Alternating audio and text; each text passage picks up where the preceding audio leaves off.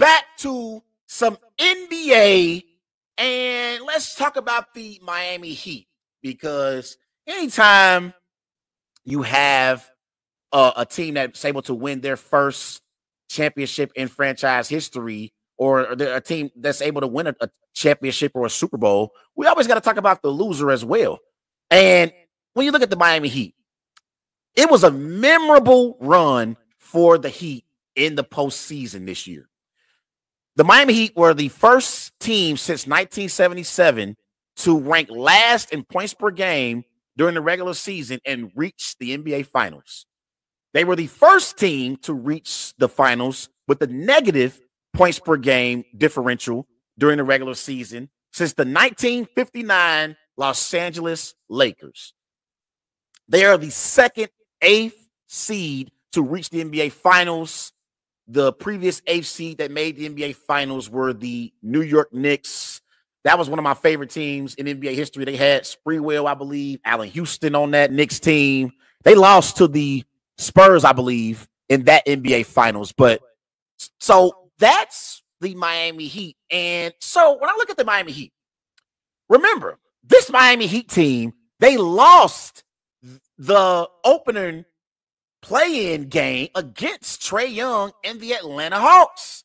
And then in the elimination play-in game, the Miami Heat, with three minutes left to go in that game, they were down three to the Chicago Bulls.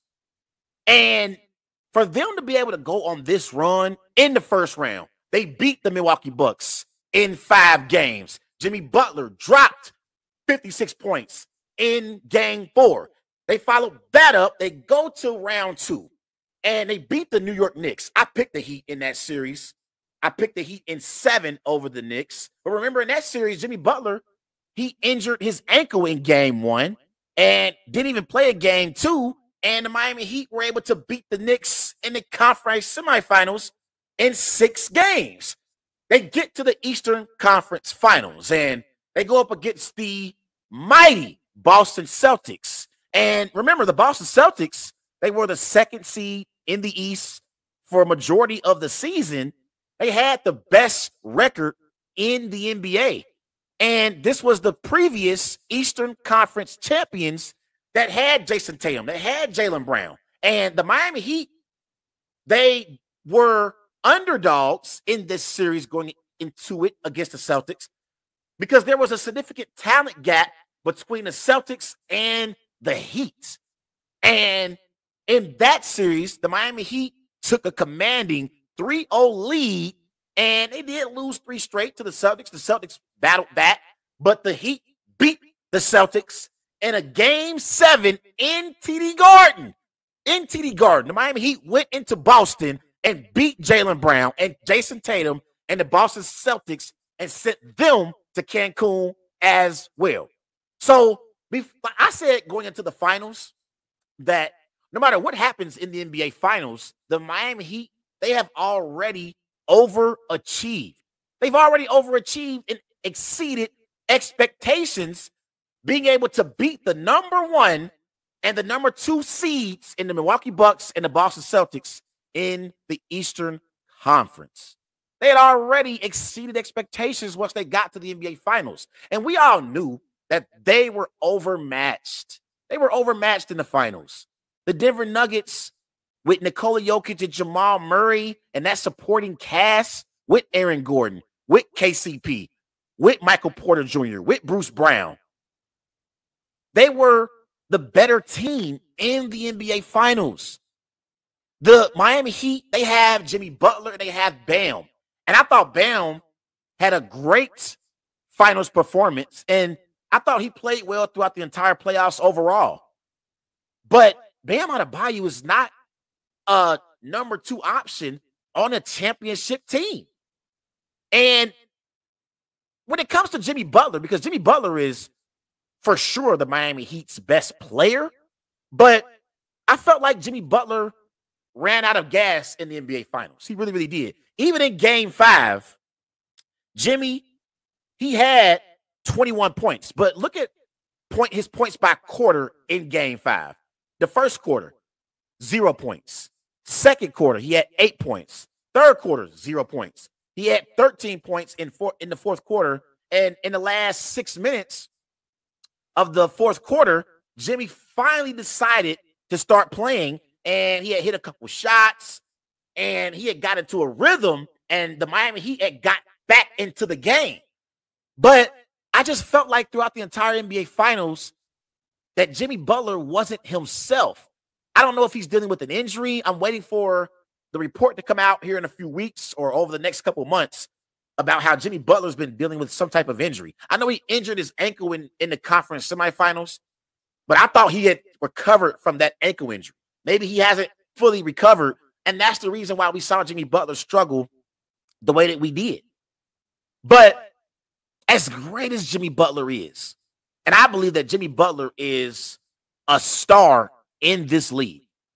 I believe that Jimmy Butler fits Heat culture perfectly, and he is the perfect player for the Miami Heat and being able to lead them to being a championship contender year in and year out. I really feel like Jimmy Butler, Erik Spoelstra, Pat Riley, that is a is a great mix when it comes to a championship contender in the NBA. He fits Heat culture. He really, really does. And, and, and, you see now with Jimmy with the Heat, you see why it didn't work in Minnesota. You see why it didn't work in Philly because Jimmy Butler is different. He built different. And I love his tenacity and he wants to win so bad to where he'll challenge you.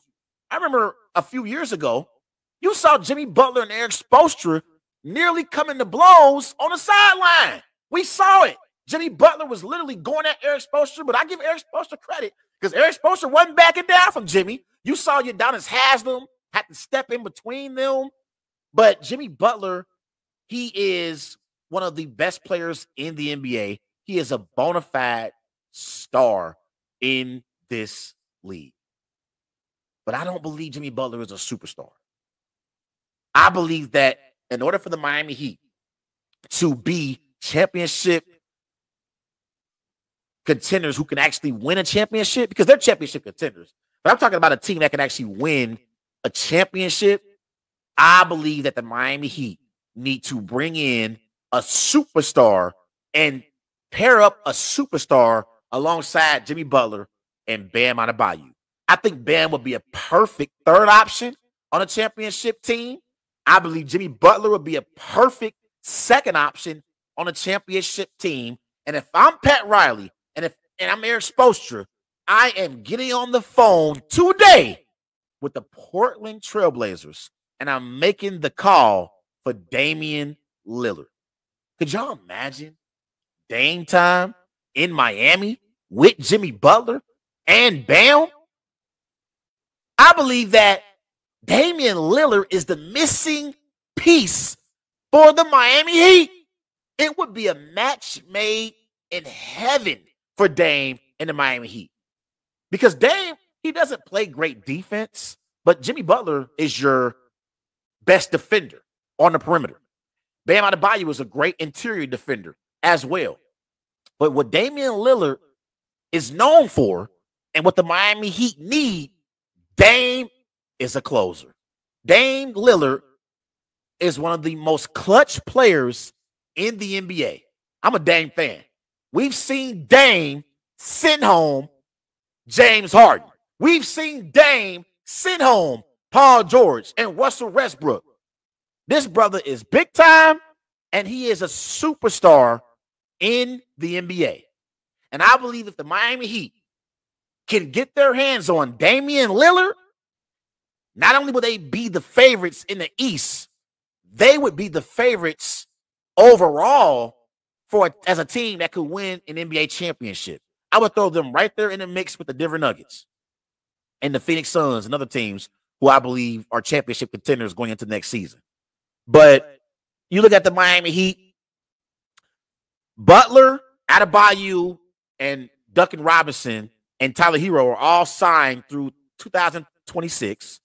Max Strus, Gabe Vincent, Kevin Love, and Cody Zeller are all unrestricted free agents. If I'm the Heat, I would try to keep Gabe Vincent. I like the way Gabe Vincent performed this year in the playoffs. I thought he he really played at a very very high level, and he he he basically put his name on the map. He put his name on the map as being a point guard in the NBA who can perform well in the playoffs. Gabe Vincent was great. I thought there were times where he was like that third option on the Heat during their playoff run. And so I also feel like when it comes to the Heat overall, because of their supporting cast, like Max Strus, like Caleb Martin, like Gabe Vincent, like Kevin Love, and you know other players that they have, Duncan Robinson, because they played so well during the Heat playoff run, I believe that they could be assets in a move to bring another star to Miami. And make no mistake about it, NBA stars, they have no problem going to Miami and hooping. They ain't got no problem with it. Miami, palm trees, Ocean Drive. These NBA players ain't got a problem or issue with going to Miami. It is one of, it's not a big market like LA or like New York, but it's Miami. It's Miami. And, and so I believe that because they're role, they're undrafted players and role players played so well during their playoff run, you can now put them in a potential deal to bring in a superstar to pair up with Damian Lillard and Bam Adebayo. And so also, too, when it comes to Miami, before I move on to my next topic, I say this all the time. I give the Miami Heat players a lot of credit for being able to focus the way that they are able to focus year in and year out. You got to think about it. They're not playing in Oklahoma City. Okay? They're not playing in one of these markets that's you know that that that's not much is going on. They are playing in Miami, Florida. They playing in Miami. Palm trees, nightlife, Ocean Drive. I mean, I, I, I can understand why a player who plays for the Miami Heat or the Miami Dolphins could possibly be distracted. I can understand why. And somehow, some way, Erik Spoelstra and Pat Riley, they are able to have their players focused because they're championship contenders every year. And for them to be able to focus the way that they are able to focus, considering the distractions that's going on around them down there in Miami, it's a testament to how committed these players are and the Miami Heat organization is to being a championship contender and being one of the best teams in the NBA. And when we talk about cultures and best organizations in the NBA, we got to talk about the Denver Nuggets. We got to always talk about the San Antonio Spurs with Gregg Popovich. The Boston Celtics deserve to be in that conversation as well. But the Miami Heat are one of the best organizations in the NBA. From Pat Riley down and to the players, they all are committed to the Heat being one of the best teams in the NBA. And they are a disciplined basketball team. But they need another star to pair up with Jimmy Butler and Bam Adebayo before they can become a team that I believe that can ultimately win an NBA championship. Because in the last four years, the Heat have been in the finals two out of the last four years. They got to the NBA finals against LeBron and AD in the bubble a few years ago. But they, they haven't been able to get over that hump. And I think adding a superstar the caliber of a Damian Lillard would put them over the hump as being a championship contender who can actually win an NBA championship.